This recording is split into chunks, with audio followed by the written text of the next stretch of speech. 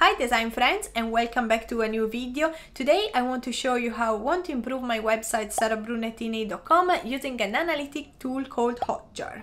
This time is not gonna be a design and build tutorial, I've got something better for you. I want to show you how I've used the data in Hotjar to improve my content and drive users to specific areas of my website. And this is super important to do because a well-crafted pixel perfect website might not be so effective if you don't know what users users are actually doing with it. Now, if you're not familiar with Hotjar, it is a set of analytic tools that allows you to collect uh, qualitative data about your users. These tools are heat maps, uh, funnel tracking, uh, user pools, surveys, and more. But today I want to focus on the heat map tools, which allows me to see where users are clicking and how many of them are making it to various points of each page. By the way, Hotjar is free to use uh, and it's super simple to install, especially if you, like me, use uh, Webflow. All you need to do is to add a line of code in the head of each page and that's it. So let's kick off with a home page. First, uh, let me show you how the heat maps uh, interface uh, works. So let's start off um, with a click uh, tab. This tab here shows you the number of clicks recorded, while uh, the second one uh, shows you how users move across the page, and the last one tells you what percentage of users are making it to various points down the page. And here I can switch between devices to have a complete overview of what all users are doing on the page.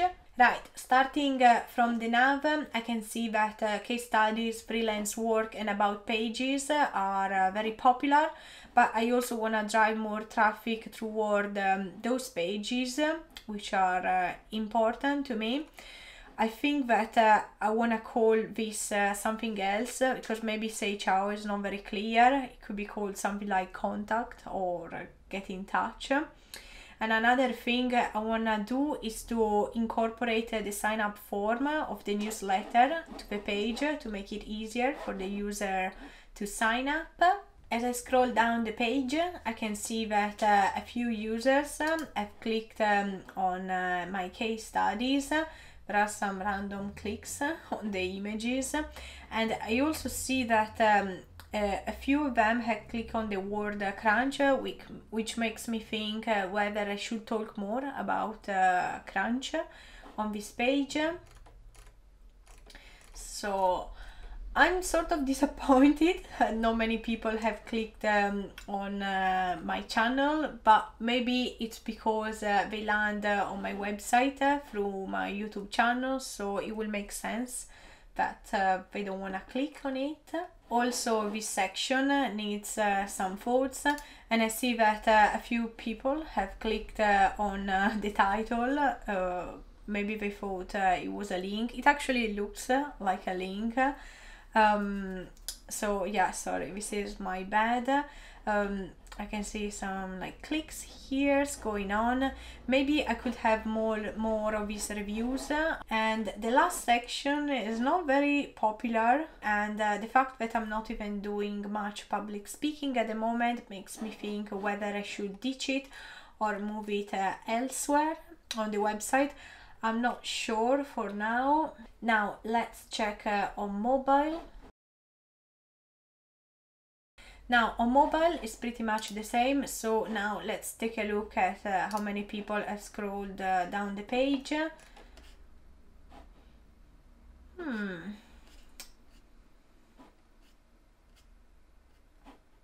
I can see that uh, more than 50% of the visitors have made it to the bottom of the page, which is good, but I know that this number could be higher if the content was more engaging. Let's move on uh, to the case uh, studies.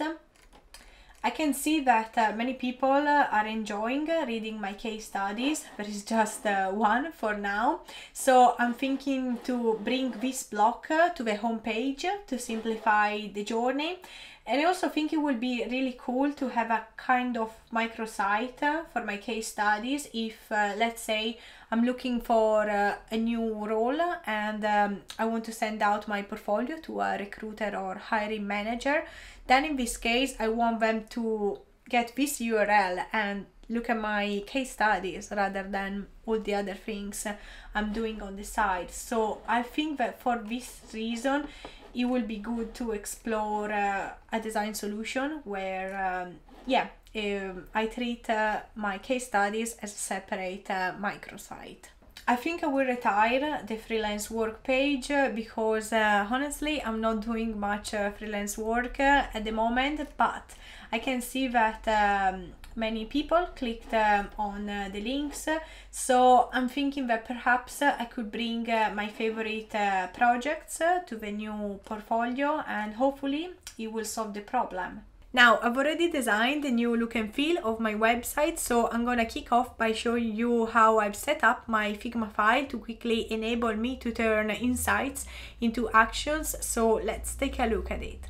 The first thing I did was to comment on all the things that required uh, my attention, and then here is where uh, the magic um, happened. So I wireframed uh, the main pages uh, and then I moved on uh, to the high fidelity. At the beginning I liked this style because uh, it's very similar to my YouTube cover. I like the choice of colors but then I thought that it looks quite chunky and heavy on the page so I went for this uh, light um, mode uh, kind of vibe and I think it works pretty well and I didn't design the rest of the pages in Figma because uh, I'm used to designing directly in Webflow to speed up uh, my process uh, but uh, I recommend you doing it if you're not familiar with uh, Webflow. Now, I've already created the site in Webflow as I find it easier to design the whole thing uh, by myself uh, and show you the final result uh, at the end. Honestly, it took me more than I planned, uh, like 10 hours, uh, which is mad, uh, but um, I think that all these details and animations were definitely worth the time and effort. So I don't want to keep you waiting, so let's take a look together. We are now in Webflow. Let's start uh, from the home page. So I've created this uh, little animation here because I really wanted to drag uh, the attention and uh, keep the user um, engaged and entertained since the beginning. So I did uh, that and if you want to see how I did it maybe I can uh, create a tutorial about it. By the way this is not a Webflow tutorial but if it's something that uh, you'll be interested to see let me know in the comments. So as we scroll down the page you can see that I've used this uh, lovely hand lettering font uh, called Grayscale that my friend Charli created. And if you want to use it uh, for your projects uh, I leave a link um, in the description. So I made uh, the YouTube video bigger and bolder I also have this like little shadow. I don't know if you can see. And that's because um, I really wanted to be the focus of um, my of my new website. So let's start um, from the beginning.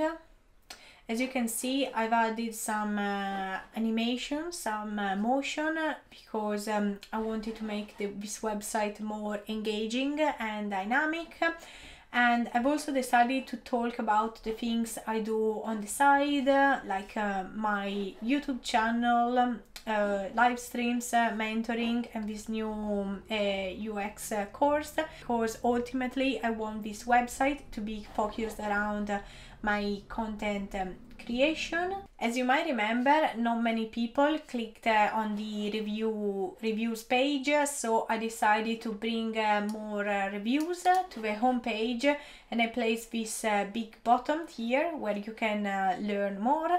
And I just really like this font. Uh, it's just perfect on this page. Anyway, I didn't forget about my design work, of course.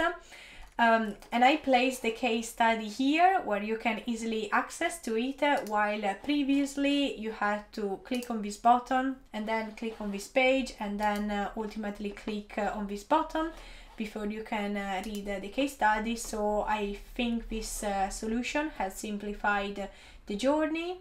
And as you might remember, I moved the newsletter from uh, the heading to the bottom of the page and I came up with new this new big uh, design that takes up uh, more space.